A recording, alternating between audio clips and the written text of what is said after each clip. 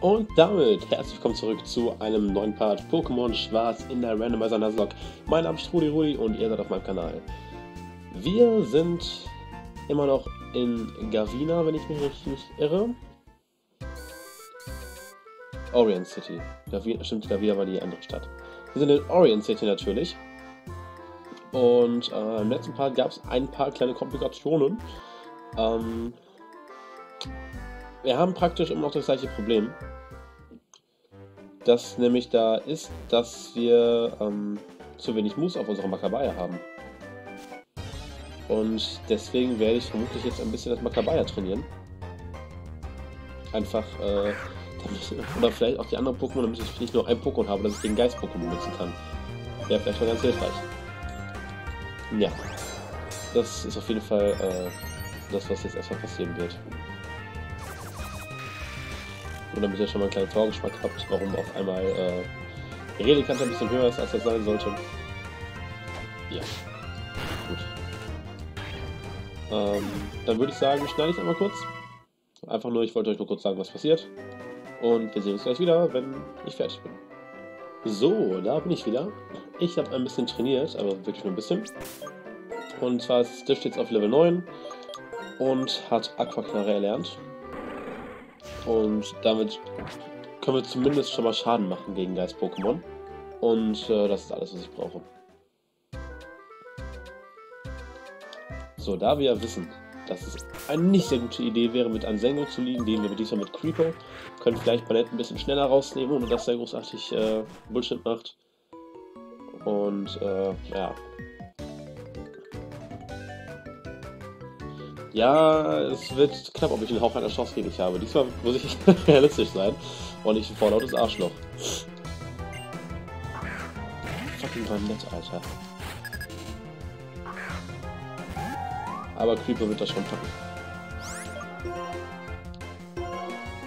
Barnett äh, geht wieder für Nachtnebel.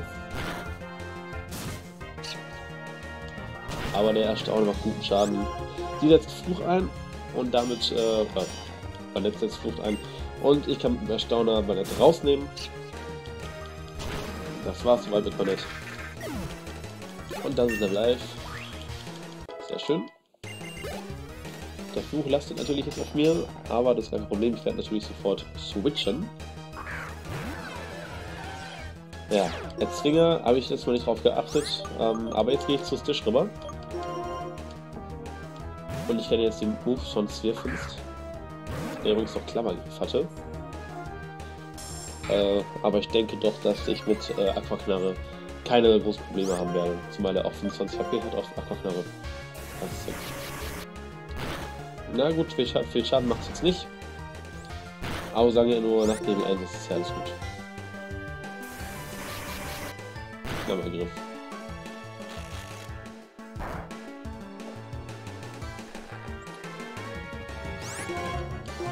Solange der jetzt nicht auf die Idee kommt, die ganze Zeit Nachtnebel zu spammen.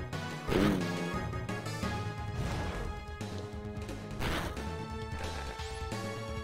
Naja.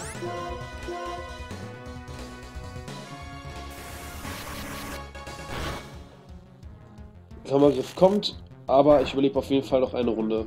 Und ich glaube, dass diese Aquaknarre jetzt schon reicht. Naja, noch nicht ganz. Aber ich outspeed ihn schon die ganze Zeit. Und diese wird reichen. So. Swiftens ist ein ekliges Vieh, Alter. Das hat fucking hohe Stats, weil es, schon, weil es halt schon entwickelt ist. Unglaublich. Und Echnatur kommt rein. Oh, scheiße. Ich habe ehrlich gesagt keine Ahnung, was Echnatur so macht. Habe ich noch einen Trank? Ja, einen. Ich gehe mal erstmal raus auf Ansengo. Nee, das ist dumm. Ich gehe raus. Doch, auf Ansengo. Weil wenn jetzt ein Ghost Tap Move kommt, dann kann ich den easy abfangen.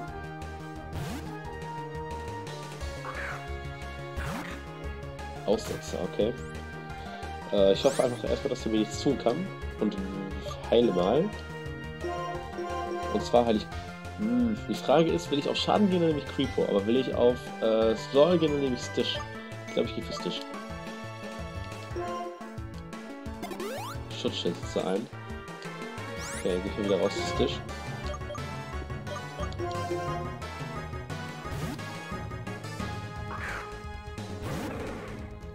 Jetzt wieder Schutzschild ein. Hm, ich gehe mal eine Runde auf Pferd, aber ich glaube, dass er wieder Schutzschild einsetzt, ja.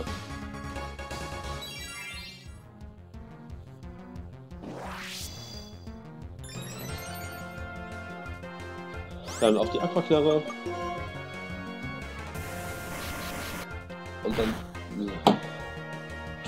Fuckvieh. Natürlich geht er auf Aussetzer.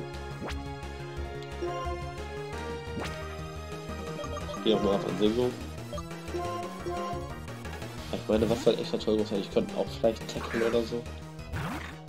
Schutzschild wieder. Also scheint mir, als hätte echter Toll keine Damaging Moves. So.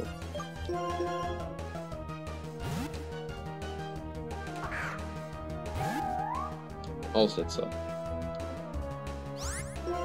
Jetzt ersetzt sich sein Aussetzer aus. Funktioniert das? Ah, das funktioniert, sehr schön. Dann kann ich jetzt ganz easy für den Stauber gehen, ohne dass ich Angst haben muss, dass er meine letzte Damaging Attacken blockiert. Und da geht für ein fucking Schutzschild, Alter.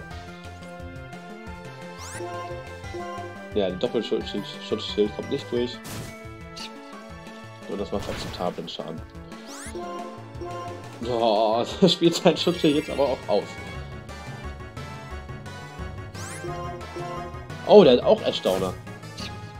Okay. Und natürlich kann er mich zurückschrecken. Meine Fresse. Scheiße.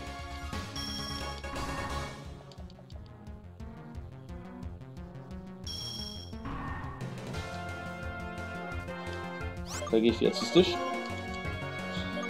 Erstaune, Erstaune allein wird nicht viel machen. Denn Tisch hat eine verdammt gute Verteidigung. Ja, natürlich steht der Schutzschild fehl. Und ich gehe für eine Aquaknarre. Natürlich geht ja wieder für den verfickten Schutzschild, Alter. Es wird mir langsam zu viel mit dir. Boah, diese Geist-Pokémon. Die wollen es aber auch heute.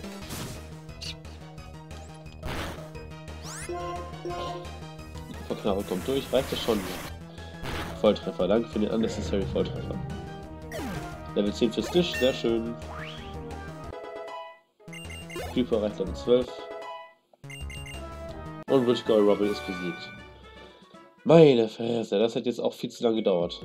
Ich glaube, du schenkst mir das Pokémon, kann das sein? Grillmark. Auf jeden Fall. Ah, es ist wirklich ein Grillmark. Äh, ja, ich möchte drei Spitznamen geben. Ich nenne es... ich weiß, wie ich es nenne. Wenn es panflam.exe. Scheiße, das passt nicht.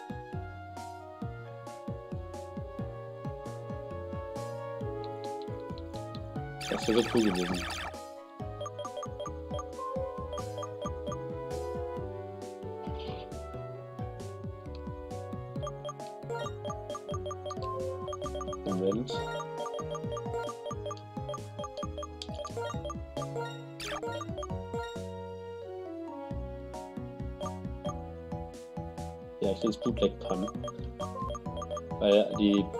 Feuerstarter aus Sinne fangen ja alle mit Pan an. Pan, Pan, äh, Panflam, Panfyrum, Panferno. Panpyrum meine ich. Äh, und das ist halt auch ein Feueraffe, schlechter Feueraffe, deswegen Bootleg Pan halt. So. Das ist ziemlich gut. Und können wir das jetzt schon? Ne, hier kann ich noch nicht hergehen und äh, hier auch nicht. Gut, dafür brauche ich Zerschneider, was ich noch nicht kann. Deswegen muss ich mich erstmal damit zufrieden geben. Auf welchem Level ist denn das von... Auf 10. Ja, das reicht doch. Sehr gut.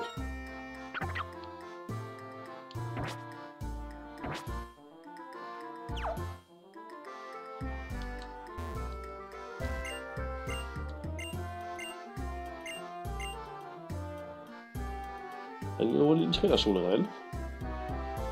Hallo Sharon.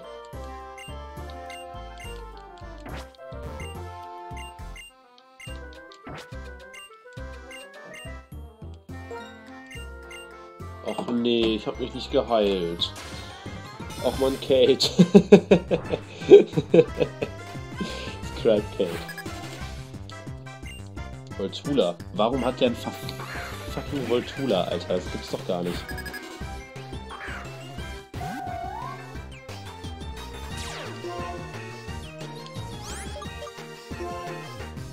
Hat er schon eine Feuerattacke? Eine schon, sehr schön.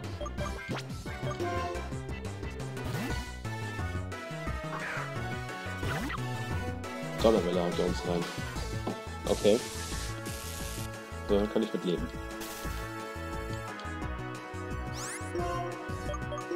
Blutsauger hat da glaube ich noch 20 Stärke. Natürlich. Volltreffer und wir kriegen die, äh, die Fullpower. Spinnennetz, okay. Aber Eiderschön kommt durch. Ja, das ist okay. Und was auch ganz nett ist, dass sie, äh, dass die Beere jetzt verbrannt ist von Voltula.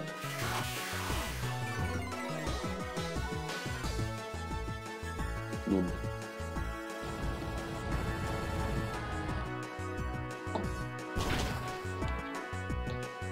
Und ganz easy, Kreideschrei haut sie noch raus. Aber ein schon die Voltura ein Ende bereiten.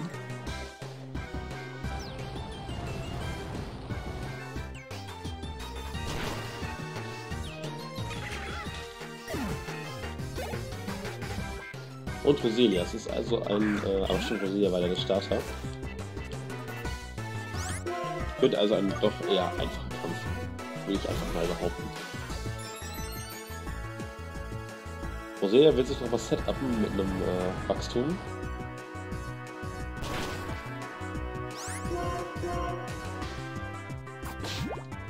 Der Giftstachel macht sogar ordentlich Schaden. Aber Bootleg Pon kann sich in seinem ersten Kampf direkt relativ gut durchsetzen. Und äh, dementsprechend... Ja, das war's mit Sharon.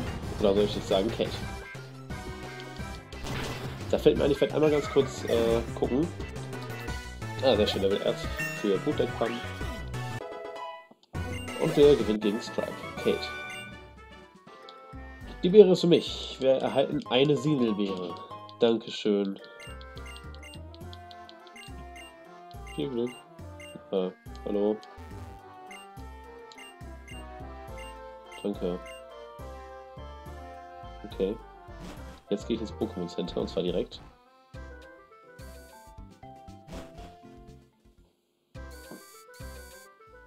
Und da sehe ich auch schon äh, den Arenaleiter stehen. Ottaro, da werden wir also gegen den Pflanzenarenaleiter kämpfen. Beziehungsweise äh, natürlich nicht, denn das ist ja random. Kurz vergessen. Äh, ich starte einfach mal mit Ansengo, weil Ansengo, keine Ahnung, ich mag es einfach. Das ist, äh, das ist ein starkes Pokémon, auf jeden Fall einen deftigen Angriff und kann schon Schwertanz. Ähm, von daher, ich mag es wirklich. Tafelwasser. Dankeschön. Au, ich gehe nicht in die Arena, bevor ich mir nicht ein paar Tränke gekauft habe. Ich bin gleich wieder da. Und da bin ich auch schon wieder mit ein paar Tränken gekauft und äh, es geht los. Hier in der Arena muss man halt immer sich auf die Bodenplatte stellen, die sehr effektiv gegen das gezeigte Element ist. So, und ich glaube, hier können wir direkt äh, sehen, gegen was für, äh, für einen Arena-Typen spielen. Denn es ist ja immer eine äh, Type-Themed Arena. Und er setzt ein... Oh nein. Oh, bitte lass es eine Gift-Arena sein und keine äh, Geist-Arena. Wenn es eine Geist-Arena ist, dann heul ich. Oh, fucking Gengar ist so eklig. Horrorblick. Oh, warum? Warum Horrorblick? Der ist gebannt, der Move. Arschloch. Ah gut, wir haben wenigstens Schlecker auf Bootleg-Plan, aber... Och du Arschloch. Das ist doch wirklich... Das, das darf doch wohl nicht wahr sein, Alter.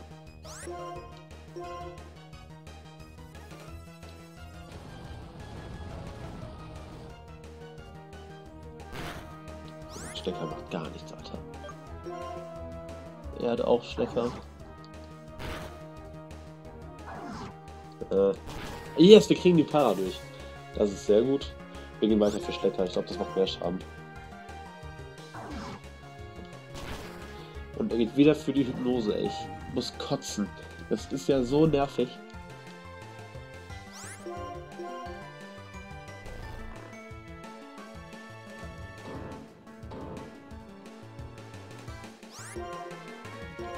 Wir machen fast direkt wieder auf. Stecker kommt durch. Ja, du kannst jetzt den Stecker reduzieren, so viel du möchtest. Ich renne danach einfach zum Pokémon-Zentrum und heile mich.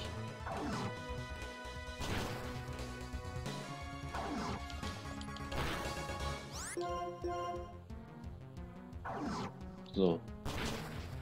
Fucking Gengar. Level 12, sehr schön. Asengo erreicht Level 11. Cool Trainer und Stacy. Ich hoffe wirklich, wirklich, wirklich, dass das eine verdammte Giftarena ist, weil in der Geistarena kann ich mein stärkstes Pokémon einfach komplett vergessen.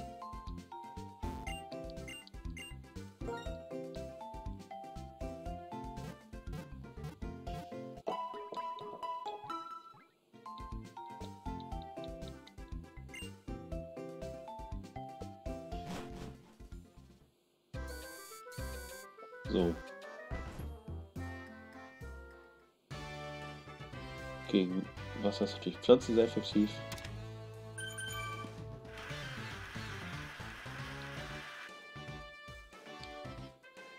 Ich gehe nicht mit Ansengo rein, weil ich Angst habe. Und ich hoffe, das ist eine Giftarena. Ich hoffe es einfach. Vielleicht habe ich ja mal Glück. Du bist der zweite Gamero. Von Man Mike. oh nein. Oh nein. Oh nein. Oh nein. Oh nein. Oh nein. Oh nein. Das ist noch fast. Oh nein. Oh nein. Warum habe ich denn Pech?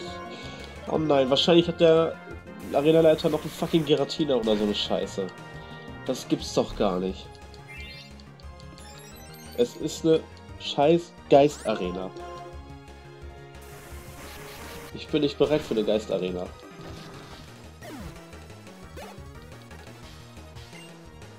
Bin ich bereit dafür.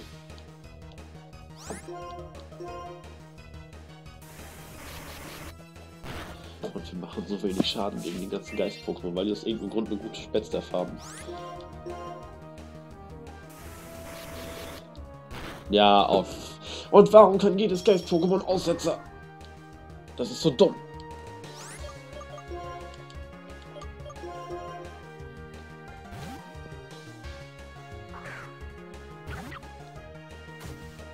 Mit viel Silberblick. Und ich komme einen Schlecker.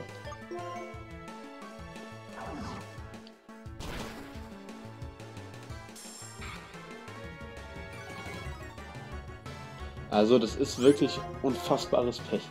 Dass wir direkt nachdem ich gegen eine fucking Geisttrainer eigentlich verkackt habe, eine Geistarena treffen. Also passt absolut zu meinem Glück. Komm, mach, mach, mach Ende. Danke.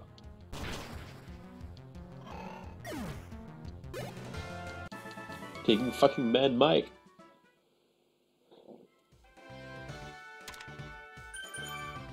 Und ist noch einer oder? Nee. Gut. Ich so, und jetzt geht es auch schon direkt weiter äh, mit dem Arena äh, mit dem Arena Leiterkampf. Äh, es wird auf jeden Fall Geist äh, sein. Ich starte mal Bootleg Pam.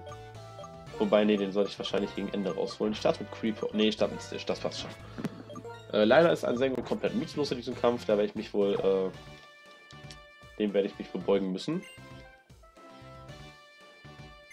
Hallo Colin, hallo Mike, hallo Benny. Ja, wir wissen, ich, ich weiß, gegen wen ich antreten muss. So oder so muss ich gegen dich kämpfen. Der erste Arena-Kampf, Freunde. Ich bin sehr gespannt, wie er ausgehen wird. Ich habe Angst. Also dann, du musst, mit, du musst jetzt mit mir Vorlieb nehmen, aber ich verspreche dir einen denkwürdigen Kampf. Gegen Jonathan. Gegen Schoolgirl Jonathan. Er setzt einen Schwalbini ein. zur Hölle?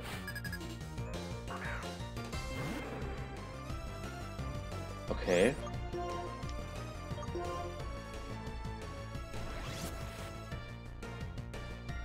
Aber, also ich meine, okay. Gut. Einfacher für mich. Ja, Schnabel wird kein... Ja. Muss, muss man das verstehen? Warum hat er jetzt eine Schwalbini?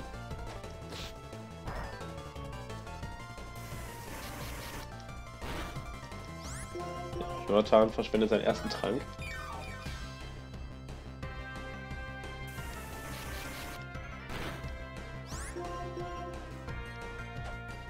Und die nächste Aquaknarre dürfte sogar reichen, glaube ich, oder? Ja. Gut, Crit. Stitch erreicht Level 11. Sehr schön. Und Skorgler wird reingeschickt. Okay, ist ein Flugarena-Leiter. Keine Ahnung, verstehe ich nicht.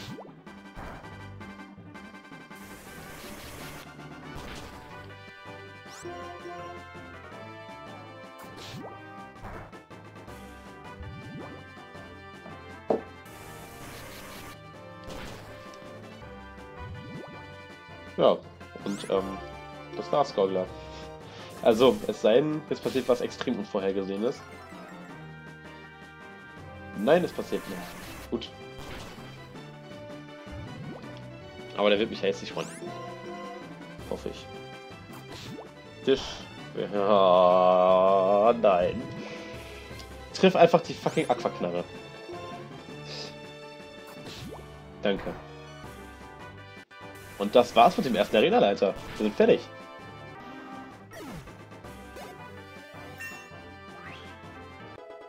Schoolgirl Jonathan ist besiegt.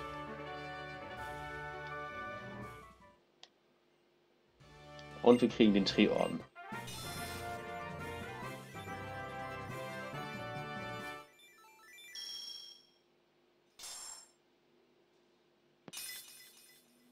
Die Animation finde ich eigentlich ganz cool. Generell, die fünfte Generation ist sehr underrated. Ich mag die echt eigentlich. Kriegen Kraftschub, Dankeschön.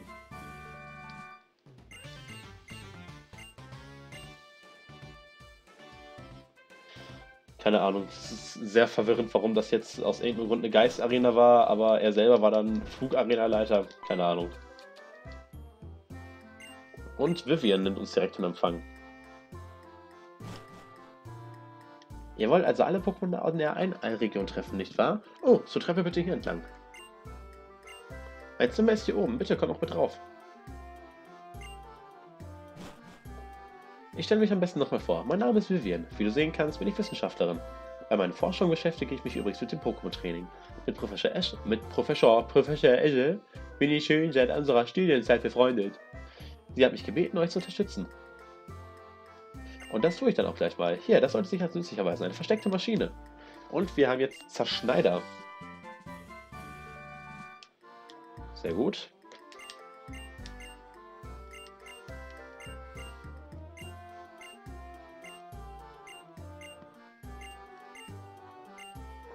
Hier können wir auf den PC zugreifen. Kann ich mit dir hier reden? Bist du ein Trainer? Ja.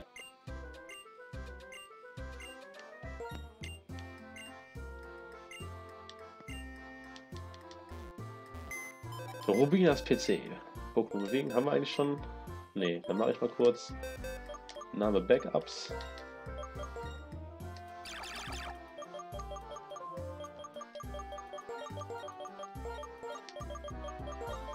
Motiv.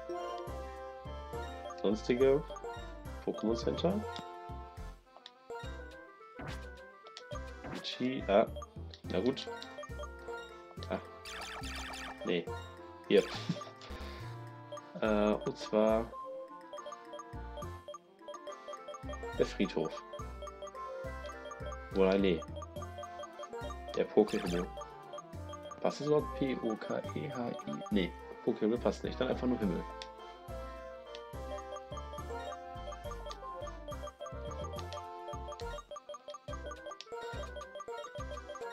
Und Motiv natürlich. Und Motiv natürlich Himmel. Hoffen wir, dass wir den erstmal nicht benutzen müssen. Nein. Und ciao.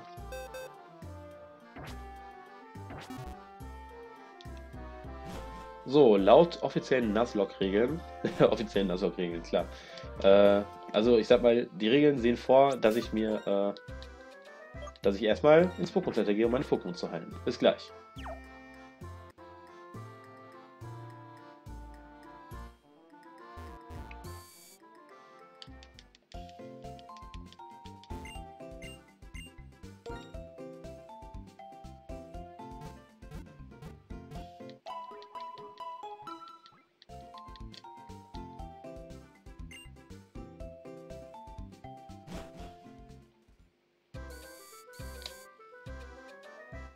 Also, was ich vorhin sagen wollte, laut äh, offiziellen Nuzlocke-Regeln darf ich mir ein VM-Opfer fangen, beziehungsweise so viele, wie ich brauche. Oh, Ponita, wir hätten einen Ponita haben können. Schade. Aber Stitch ist genauso gut. Ich muss sagen, ich bin sogar relativ zufrieden mit Stitch. Der hat eine sehr gute Verteidigung und der wehrt am Anfang äh, alle Moves gut ab und er hat eine One-Hit rausgehauen. Dankeschön.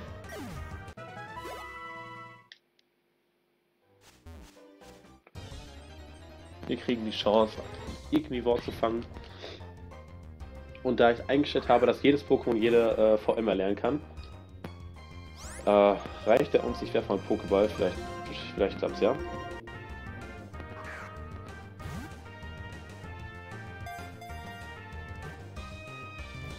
Danke, sehr gut.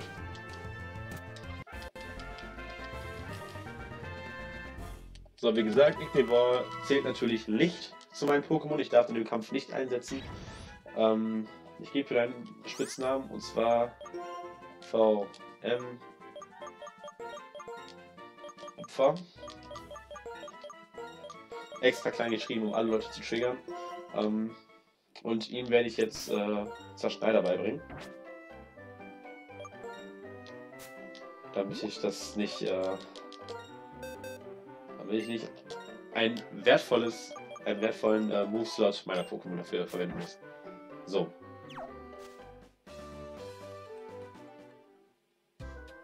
Mit VM-Opfer im Team geht es jetzt zur Traumbrache.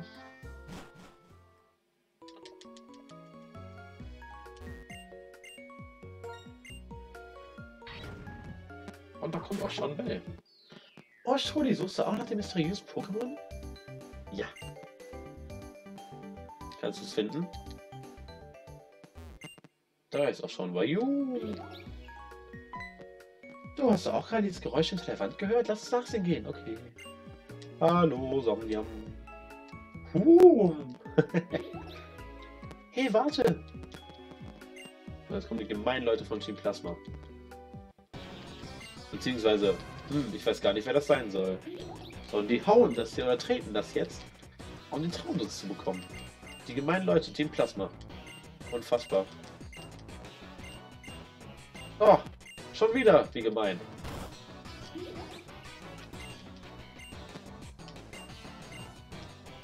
Ja, bla bla bla. Die Musik ist nice, deswegen sage ich jetzt nichts.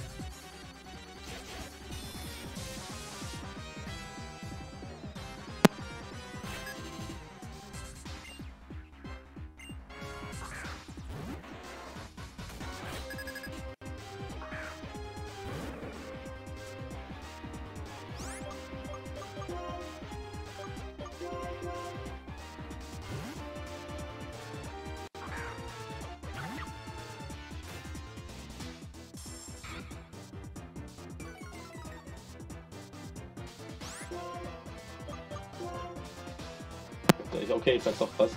Aber ich finde diese Musik so nice. Also das muss ich sagen, ist eine der besten äh, Bösewichtsmusikeinheiten, die es jemals gegeben hat. Die, die macht mir so laut jedes Mal, wenn ich Pokémon Schwarz spiele. Finde ich echt sehr geil.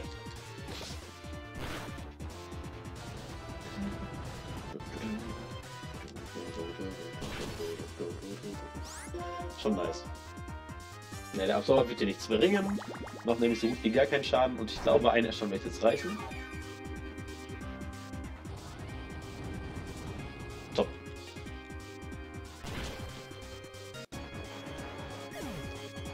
Das war's für Scribe Mark. Man muss sich gegen beide zueinander kämpfen oder was? Lame. Noch was Scribe Mark. Und der hat einen Anorit. Da bleibe ich drin gegen. Auf das Tisch relativ gute Chancen.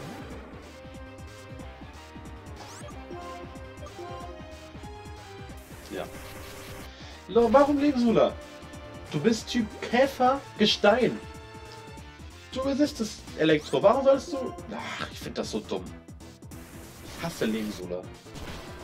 Die Attacke macht mich wütend, dafür durch ihre bloße Existenz. Die ist so dumm. Warum sollte man sie einsetzen? Warum sollte man einen Move-Slot dafür verschwenden? Ich verstehe es nicht. Ich glaube, also, es kann doch auch nicht sein, dass es irgendjemand benutzt. Es muss doch Pokémon aufgefallen sein. Unglaublich. Ja, hörst du jetzt wohl auf, da, da, da. Und das ist ganz witzig, denn da ist ja jetzt Jesus. Und äh, das ist halt ein Traum. Weil der, die wollen ja den Traumdunst haben und die haben es quasi geschafft. Aber die träumen jetzt halt selber einen Albtraum, dass Jesus halt da ist und die fertig macht. Deswegen kann der da auch 5000 Mal stehen. Die Szene finde ich eigentlich ganz nice. Das hat so eine gewisse Meta-Ebene. Und damals hat der 10-jährige Olli das nicht verstanden, hat gedacht, er kann sich teleportieren.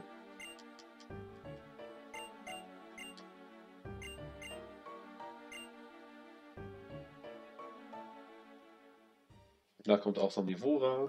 Somnivora ist, glaube ich, relativ viable sogar, oder? Im äh, Competitive. Ich glaube, dass Somnivora gar nicht so scheiße ist. Schade. Schade. Pion ab. Lassen Traumdunst da.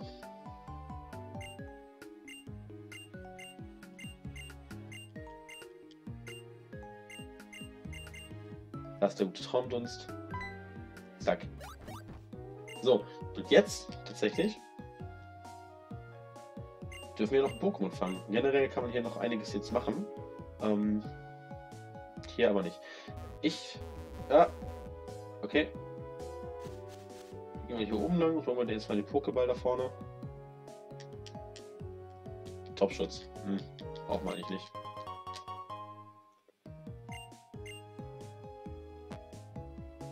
Aber generell, ich, wie gesagt, ich bin ein sehr großer Fan von der fünften Generation. Es ist einfach, ich finde die Story ist gar nicht so ultra langweilig. Und auch sonst eigentlich. Die Animationen sind cool, das Kampfsystem funktioniert extrem schnell. Und da ist auch schon unser Encounter. Und es ist ein. Ein Litorid. Ah, wenn ich gleich sehe, was wir wieder hätten bekommen können, ich wette, dann raste sie aus. Ich will aber nicht für die Aquaknarre gehen, weil ich glaube, das bringt ihn um. Was? Felswurf? Felswurf ist auch nicht das Wahre, bin ich ganz ehrlich. Ja, Panzerschutz dann fick dich doch, dann werfe ich halt jetzt einen Pokéball. Aber ich habe Lead noch nie trainiert. Genauso wie, äh, Dings. Redikant hatte ich auch noch nie. Dürfte also ganz interessant werden. Oh nein, jetzt bleibt doch einfach drin. Ich will dich eigentlich gar nicht.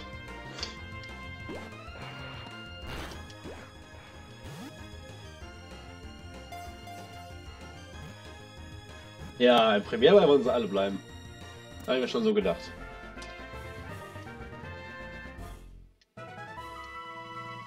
Sehr schön. Ich möchte ihm einen Spitznamen geben. Und zwar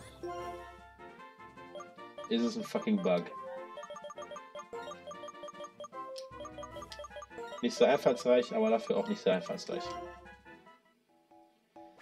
Ich gehe mit Sänger an der ersten Stelle noch mal ein bisschen durchs Gras und schaue mal, was ich sonst noch hätte haben können. Hm, Hyperball. Auch nice. Was ich auch in der fünften Generation ziemlich cool finde, da gibt es ja immer wieder so Pokebälle, oder sind dann Tarnpions, die sich tarnen als Pokebälle. Ich cool. Zorokex. Okay, Zorokex wirkt glaube ich ziemlich stark, aber ich mag Zorokex aus irgendeinem Grund nicht, keine Ahnung. Das ist einfach nicht mein Pokémon. Deswegen werde ich das jetzt auch möglichst schnell abfertigen. Hey, aua! Du fucking Arschloch. Äh, Bootleg Pan. Ich will nicht zu Creepo gehen, weil ich bin ziemlich sicher bin, dass der auch bis kann.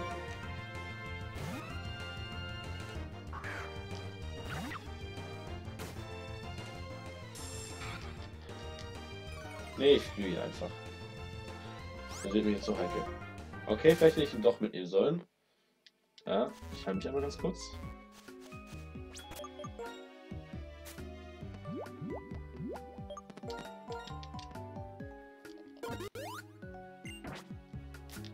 So. So, das ist das Pokémon hier gewesen wäre. Na, wieder zurückwächst. Gut, dann kriegen wir mal nichts zu sehen, was wir sonst hätten haben können. Aber ist auch ganz gut. Weil sonst wäre ich noch traurig mit Detolit oder wie auch immer man den aussprechen soll. Gut. Soweit so gut. Ich hau ab. Und dann gehen wir auch schon weiter. Beziehungsweise würde ich fast sagen, ähm, wie es weitergeht, sehen wir im nächsten Part von Pokémon Schwarz in der Randomizer Nuzlocke Challenge. Ch Ch Challenge. Challenge. Ich danke euch fürs Zusehen. Ähm, ich hoffe, es hat euch Spaß gemacht. Und ähm, bis dann.